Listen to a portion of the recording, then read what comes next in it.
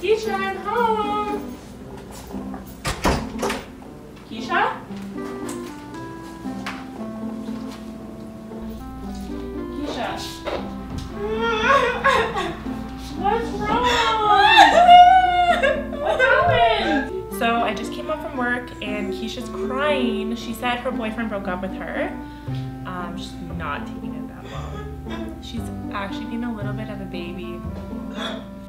Stop, Christine! Ow! You almost knocked off my glasses.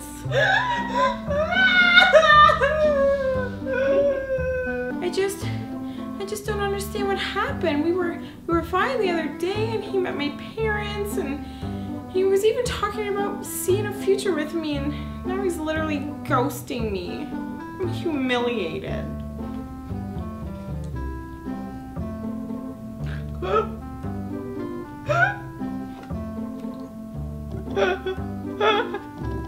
Seriously, this bitch needs to get her shit together. Just because he hasn't texted her, it doesn't mean that they broke up.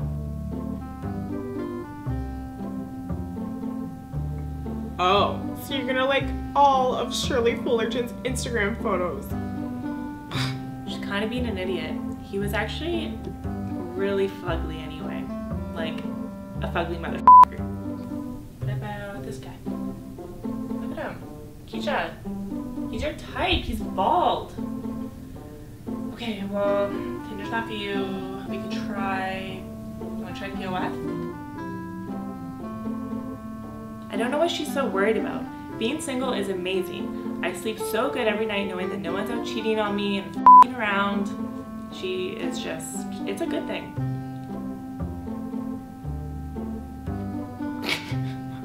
So I read an article online of how to comfort a friend that's going through a breakup because I really don't know what to do.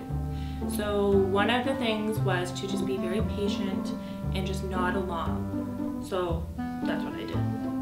I just don't know what happened. Everything everything was And said patience is very, very important, which is fine because I'm really patient anyway. all together. Everything was fine.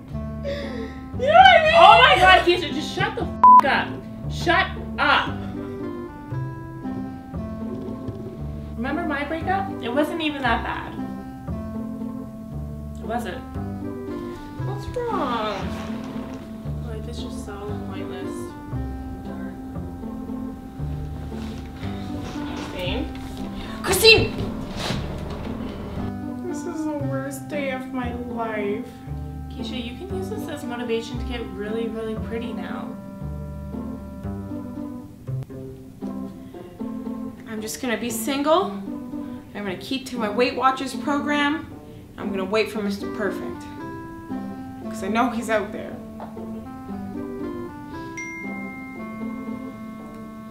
Let's see what you have to say. Hey, meant to text you this morning, but I forgot.